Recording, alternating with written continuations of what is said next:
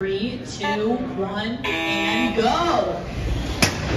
All right, that looks like a flop over and a panel on there uh, from Sparky.